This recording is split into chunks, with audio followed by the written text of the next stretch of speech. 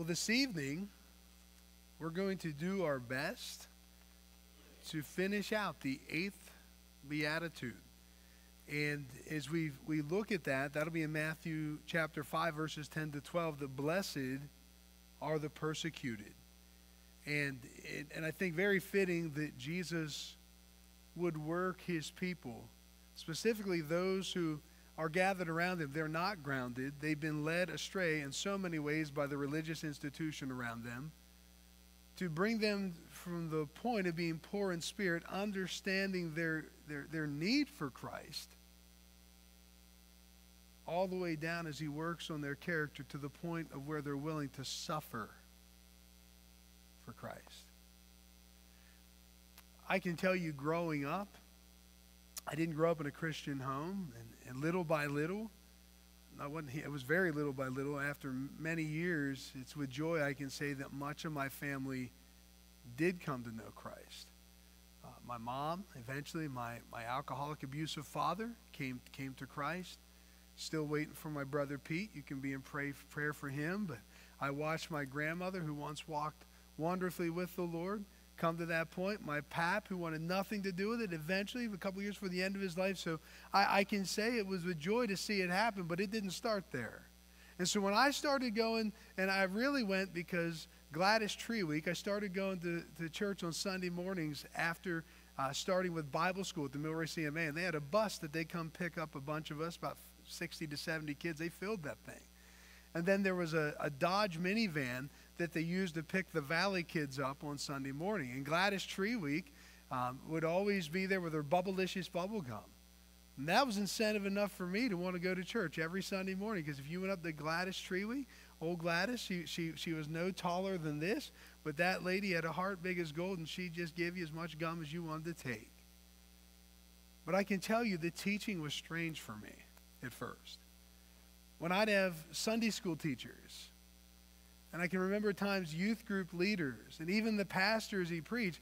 And, and, as they talked about, especially when you read Acts chapters 4 and 5, people literally rejoicing for being abused. And, and understand the framework of where my mind's coming from. I can't tell you I ever rejoiced being abused as a kid growing up.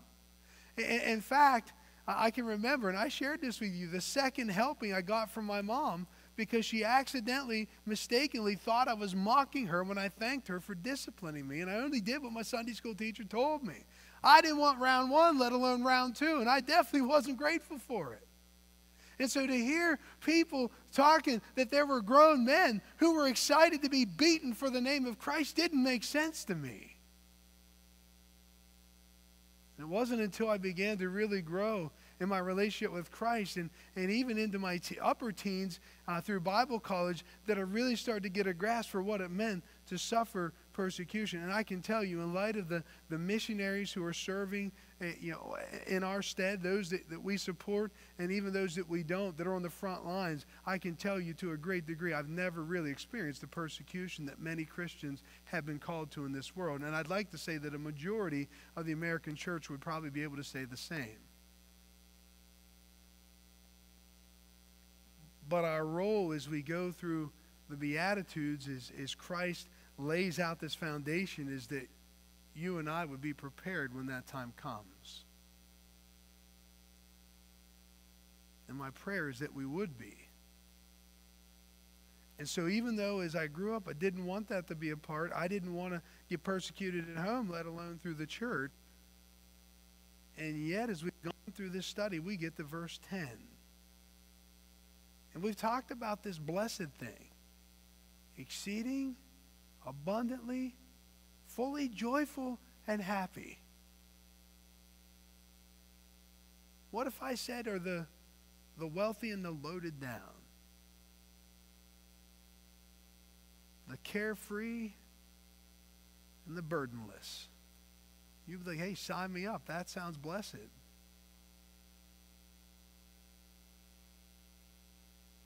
And when you hear it from the lips of Jesus, we probably should really stop to think about what he's saying here. Fully, completely, exceedingly abundantly joyful and blessed are they which are persecuted for righteousness' sake. for theirs is the kingdom of heaven. Blessed are you when men shall revile you. That, that means to defame you, it means to, to tear you down, to drag your name, as good as it may be, to drag it through the mud. Blessed are you when men shall revile you and persecute you and, and shall say all manner of evil against you falsely. It's not even true. We've talked about the last couple of weeks about what it feels like to, to go through that. Remember, who told you that? None of that was true. And Jesus says, when they speak evil against you falsely for my sake. Verse 12, rejoice and be exceeding glad, for great is your reward in heaven. For so persecuted they the prophets which were before you.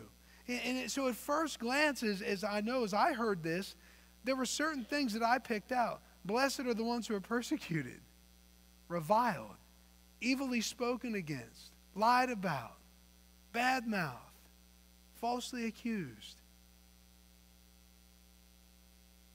And, you know, who wants to rejoice over that? Sign me up. No. We have to look at it in context. As we look at the persecution, verse 10 talks about, it's for righteousness' sake. A, a righteous stand before God and before man. When when we're living to the best of our ability through the Holy Spirit's power to live out the Word of God. We're standing in righteousness. He says, Blessed are those who are persecuted when they're living the right way. And the reviling, the evil, and false speaking, it's when it's levied against you for Christ's name's sake. You know, one of the things that I wanted to know when I went into my freshman year at college and I, and I met with Dr. Joyce Holgis especially as, as I wrestled with some of the things I'd been through as a kid in light of the, the, the, the meaning of the gospel. I remember saying to Dr. Holgis, I want to know that this pain has been worth it.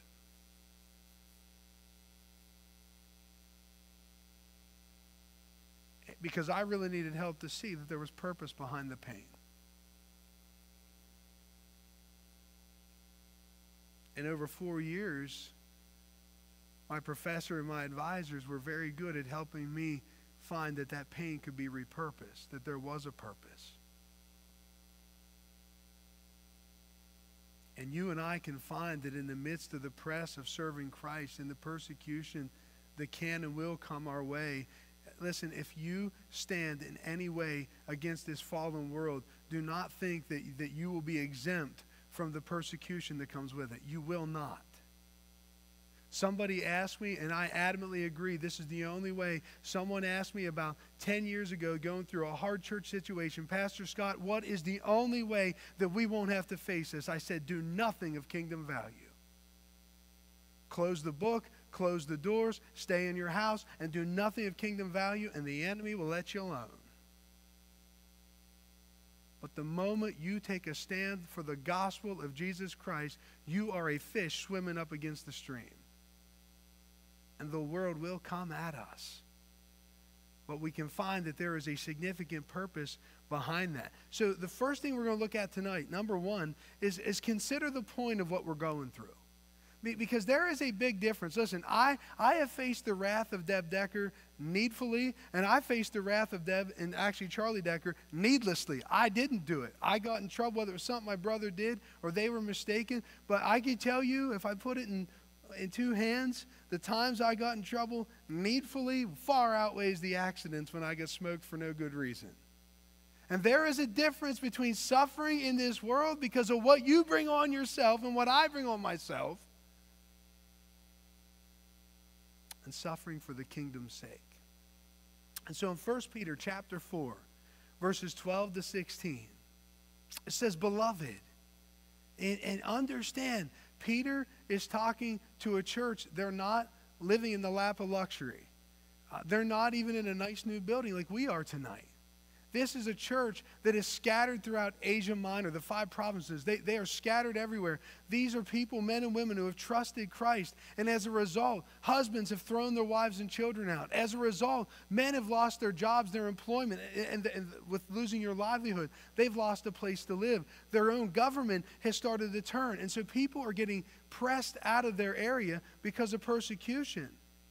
And so, in the midst of this, isn't like somebody picked on me at work. Or, or somebody put a sticky note on my back, you know, kick stupid. You know, th- this isn't what we're talking about. Real life persecution was happening for these folks. And I need texts like this to remind me to get myself out of my pity party that's not all about me, it's all about Him and His glory. And I've seen nothing yet. But when it comes from the pen of someone who died, as tradition holds, upside down on a cross, maybe Peter knows a little something about persecution. And is inspired by the Holy Spirit of God. What does Peter say to the church that God has preserved for you and I? He says, Beloved, do not be surprised. I shared this morning when we start letting in a theology that somehow we can avoid as the church any kind of persecution, backlash, struggle, trial, or strife, standing for the kingdom's sake, we are genuinely foolish if we believe that. And I'll share with you a little bit more in a little bit. He says, Beloved, do not be surprised at the fiery ordeal among you, which comes upon you for your testing. He says, as though some strange thing were happening to you. I'd like to say, listen, remember, this isn't something that should catch you off guard as a Christian. He says, but to the degree that you share the sufferings of Christ. You, you know, when I read that, I think of Paul. Paul says, I, I want to know him. And that's what I want to know tonight for me. Do I really want to know who Christ is? Or do I want a God of my own making? Who will approve the things that I want to do, stroke my ego, tell me I'm a good boy, maybe be my genie or my sugar daddy, to give me what I want.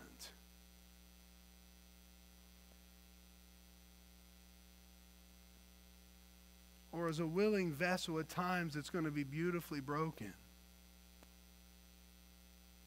Will I humble myself at his feet, the one who has bought me, who has paid for me, who has redeemed and restored me? And even if it means knowing him through the fellowship of his sufferings, as Paul says, says, Here I am, Lord, use me. He says, But to the degree that you share the sufferings of Christ, and I think this is cool because Peter spent a lot of time with Jesus. He says, keep on rejoicing. You know, as you're going through that heated trial, and as you're getting pressed from every side because of your stand for Christ, he says, keep on rejoicing. Why? Because we just sang it. What a day that will be. This trial isn't going to last forever. It isn't all that there is. There is an end in sight. And there's not just hope at the end, there's hope through, as he says this, so that also at the revelation of his glory you may rejoice with exultation. If you are reviled for the name of Christ, you are blessed. Why? Because the Spirit of glory and of God rests on you. You're not an orphan through it. He's not left you alone. He's not abandoned you. And listen, I can tell you there is a purpose even through the pain. And I can tell you when we're willing and when we're open, and even when we don't understand, God really can repurpose the pain to use it for His glory and for our good.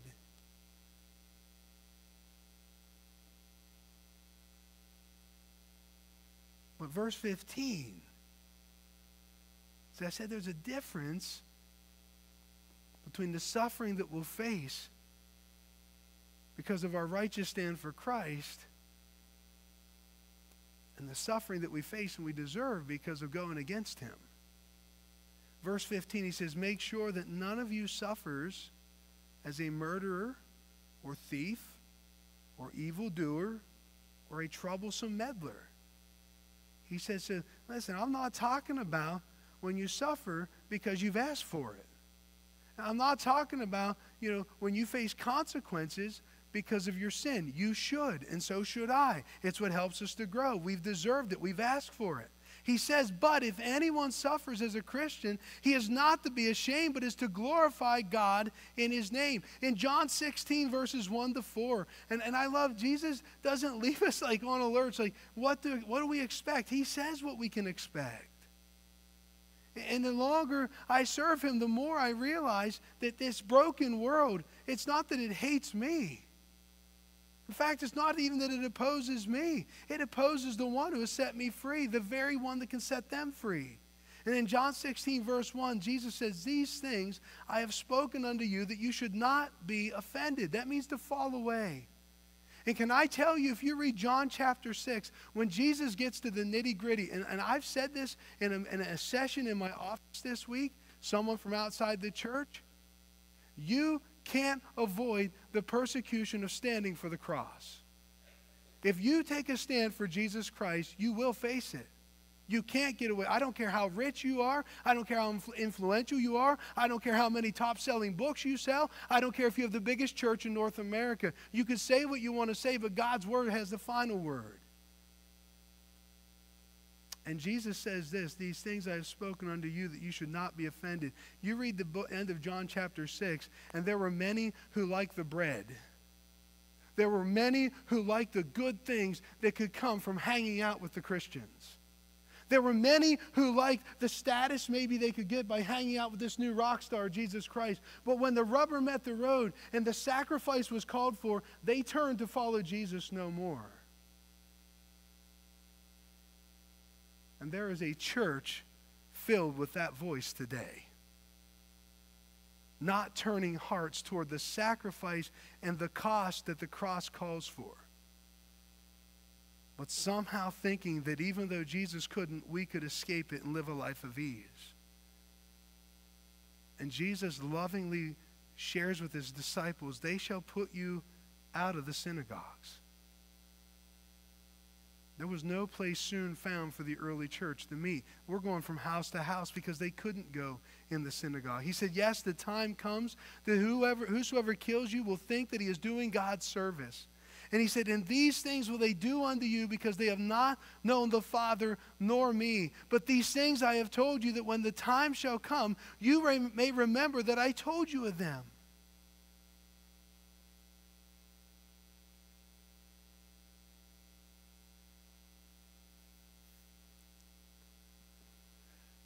As I thought about what Jesus said, I mean, I, I can't read through the entire New Testament and I can't come up with a doctrine of theology that says that, that there's some kind of gospel without suffering. I can't read the Word of God and somehow come out and think that there's, there's a message that I can preach that somehow I can tell you that you can avoid, you can remove, you can eliminate, uh, that, that you and I can minimize or get rid of the suffering that the Christian life calls you to. I, I can't come out with that. I told you if we wanted to fill this building in the next month, we could do it. We could do it. And they're doing it nationwide. But the message that requires, I can't find in the truth of the Word of God. I'd love to tell you that you stand for Christ, it'll be peaches and cream the rest of your life. I can't do that. And in love, Jesus told us in advance. So as that we wouldn't, as Peter said, be surprised at the ordeal that we're in the midst of. But if you want to hear it from the mouth of Peter again, and listen, this is one of those double take moments. Do you want to know what you were called to as a Christian? And these aren't Pastor Scott's words, verbatim from the Word of God as Peter has already levied against them, don't, don't be surprised when this happens. In chapter 2, verses 21 to 25, he says, For even hereunto were you called. That is the effectual call to salvation. God has called you to be redeemed. And listen to what it goes on to say. He says, For even hereunto, what's he talking about? Suffering, persecution, taking a stand for the gospel, advancing into a world that's adverse to it. He says, Because Christ also suffered for us. Listen, leaving us an example. That is a pattern of imitation. He says, Jesus Christ suffered as he advanced the kingdom, as he established the kingdom, and he's called you to do the same. So, brothers and sisters, if I ever tell you something adverse to that, and I can assure you, if you try to tell me something the verse that, let us lovingly come alongside of each other and stop that and nip that right at the bud. He says he's left us an example that you should follow his steps. And when that trial comes, I love this. Peter, as, as these believers are hurting, listen, you would think this is so unloving. Peter, they're hurting. They're, they're cast out of their homes. Their spouses want nothing to do with them. There are children who are orphaned. I mean, tell them it's going to all be okay.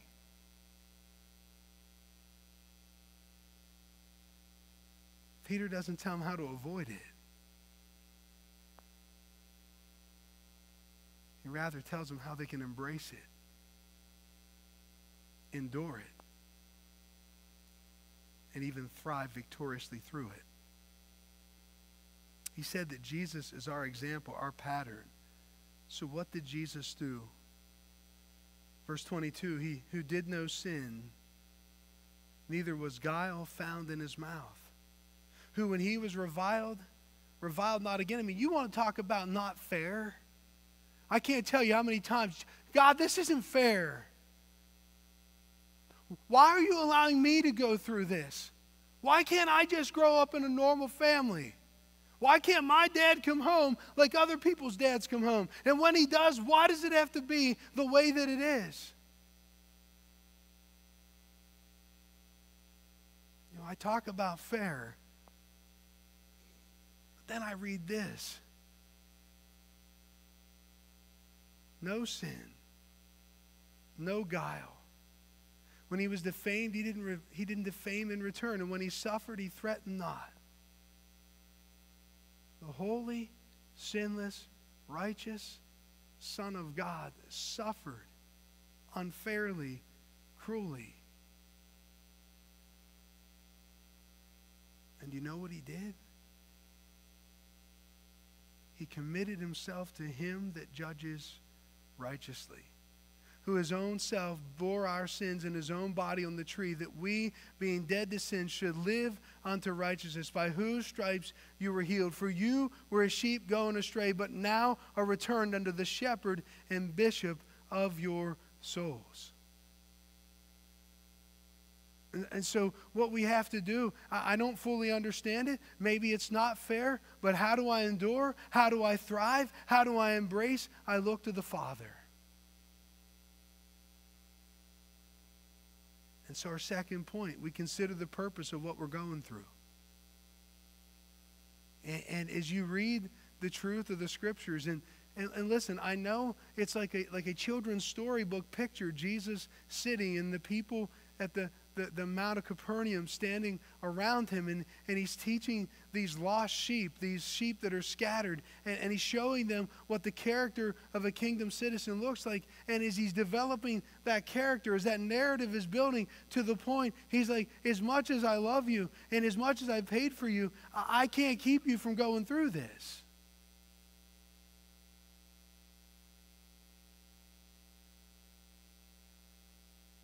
Because as the salt of the life of the earth, salt and the light of the earth, this is what you've been called to. And as you study in the scripture, those, and I'm not talking those who make a name for themselves.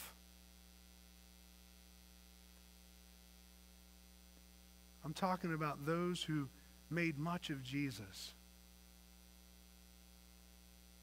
And they're not telling me and filling my head with prosperity and blessing and health and wellness is if that is the end gate of the Christian life. And I'm not saying it can't be a part of it, but it's not. It's my salvation, it's the salvation of the lost for the glory of God. And those who genuinely wielded this sword were willing to suffer horrific persecution I mean, there are times, even as a pastor, I'm not willing to give up time in my schedule, let alone hang upside down on the tree.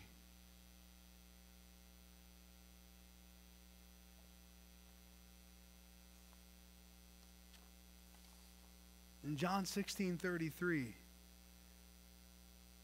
like I said, Jesus lovingly shared with his followers. He said, These things I have spoken to you so that in me you may have peace would be to God that as tempting as it is to look to the things of the world, we, we would look to Him, to God and His Word, to the precious Holy Spirit's power to find the peace that's there. because in the world you have tribulation, but take courage. Jesus said, I have overcome the world. John 15, 18, it says, If the world hates you, you know that it has hated me before it hated you. In 2 Timothy 3, 12 to 13, it says, Indeed, all who desire to live godly in Christ Jesus will be persecuted. It doesn't get any clearer than that. And here's why. But evil men and impostors will proceed from bad to worse, deceiving and being deceived. Some of you are like, I just want to go home and watch the Super Bowl right now, Pastor Scott, and this is this is raining on my parade. Let me cast a little sunshine for you. Not only did Jesus predict that it would happen, there's good news in what it means. Look back at verse 10. Look at what it shows the world around us. Blessed are they which are persecuted for righteousness' sake. Why? For theirs is the kingdom of heaven. He says, if you want to show a sin sick, sin stained, darkness filled world what the child of God looks like, then, then you rise up and shine in the strength of God in the midst of the press of persecution. And listen, we can't get away from it. In fact, I, in that regard, I appreciate an explanation that, that as you and I are persecuted by the world as we stand for Christ, I appreciate this explanation given by John Piper in his Desiring God message, and it was titled Blessed Are the Persecuted. Is it an exhaustive list? No. But this should be what the child of God looks like versus the world around us. And listen, if this is you and I striving to, to live this way, we're going to face. You're going to know the why. What's the purpose of the suffering? It's because you and I are not of this world he, Piper goes on to say, if you cherish moral purity, it is lost in this society today. And I'm just going to go ahead and say it's even lost in the body and the bride of Christ today. How do I know it? Listen to the coarse joking. Look at the sin that's not only tolerated, it's embraced in the, in, in the body of Christ. Piper said, if you cherish moral purity, your life will be an attack on people's love for unbridled sexuality. He said, if you embrace temperance, your life will be a statement against the love and abuse of alcohol. If you pursue self control, a fruit of the Spirit, your life will indict excess eating and all excesses. If you live simply and happily, you will show the folly of luxury. If you walk humbly with your God, and, and, and what does God require of us? It's in Micah 6 8. That's what He wants you walk humbly with your God, you will expose the evil of pride. If you are punctual and thorough in your dealings, you will lay open the inferiority of laziness and negligence. If you speak with compassion, you will throw callousness into sharp relief. If you are earnest, you will make the flippant. Flippant people are those who are disrespectful and have no regard for seriousness in, in a serious matter. Everything's a joke if you're earnest, you will make the flippant look flippant instead of clever. And if you are spiritually minded, you will expose the worldly mindedness of those around you.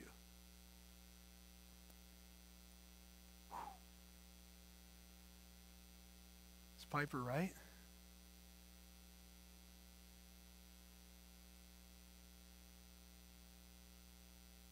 In John 3 19 and 20. Jesus says this to Nicodemus This is the condemnation, this is the verdict that light is come into the world, and men love darkness rather than light. Why? Because their deeds are evil. For everyone that does evil hates what? The light. Neither comes to the light. Why? Lest his deeds should be reproved. Next time, we're going to look at the last point. We're going to consider the promise that's given to those who are willing to suffer for Christ. But as we close here, thinking about darkness, hating light, not wanting exposed, I will never forget as a sophomore or junior in high school when, in fact, I got to meet one of the young men who said that at the Bearcat basketball game on Friday night. And this man's life has changed drastically since he made this statement. And actually, his life was changed because of what he was doing in the moment when he said this. He said, Scott, or they called me Decker, Decker, it'd be so much easier to keep doing what I'm doing if you'd do it with me. I said, not a chance. Remember I talked about getting smoked by Deb Decker? The fear of Deb Decker.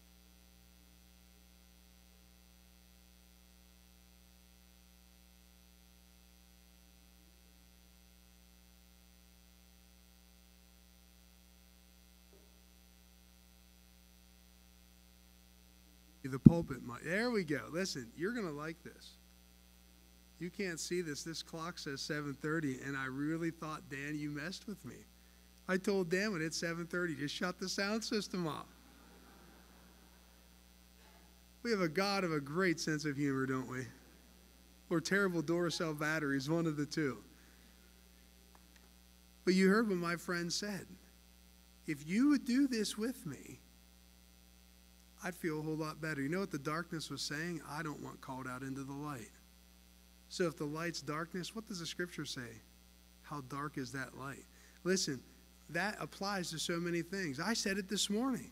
Whether it's the false teaching someone tries to bring to the forefront of your attention, you're like, wait, first of all, who told you that?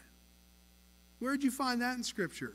Or the next time someone says to you in darkness, saying, listen, did you hear what so and so did? Why am I talking like that? Because we sound like a bunch of preschoolers. Did you know what they did? I can't believe they would do that to me. Or I can't believe they do that to you. And what if the light just called it out for what it is and said, What did they do when you talked with them? The darkness doesn't like being exposed by the light, but guess what? You got an eternal flashlight empowering you from the inside out. Let it shine. And, and, here's the thing: as you take that stand, listen, I guarantee you, you watch the Super Bowl and you go home, you have all kinds of opportunities to stand against the fallen world. And you want to talk, you want to see how callous you are, just see how funny those Super Bowl ads are. I'm not being judgmental. I'm just saying, watch your eyes, children. Watch your eyes, and guard your heart. And listen, when you take that stand for Christ this week, the opportunities will come. We're going to talk next week. There is a promise given to those who are willing to stand boldly for Christ. Father, we come to you this evening and we thank you for the truth of your word. We can't ever thank you enough for that. I thank you for those. I think of William Tyndale, the William Tyndale who gave his life. And I don't mean just gave his life in time, and he did for years. In fact, even when he got shipwrecked and lost the entire body of work that he had completed to that point, the man went from house to house, corner to corner, translating this Bible the, the Latin into the common man's language so we could have it. And then literally lost his life for doing so. I thank you that you have preserved this and that there are those who have suffered to get it into my hands. And Father, I'm asking you to give me and my brothers and sisters a resolve as strong to take a stand for you. And Lord, encourage us to know that there is a rich reward and it may not be financial, it may not be in prosperity or health or wellness, but it is eternal that never fades and can never be snatched away. Father, may we fix our eyes on that prize in Jesus' name. Amen.